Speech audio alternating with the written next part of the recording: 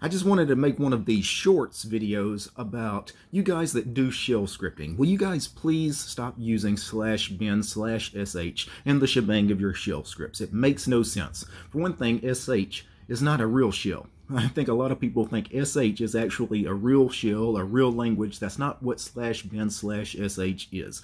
It's simply a symlink to whatever your user's default shell is on the system.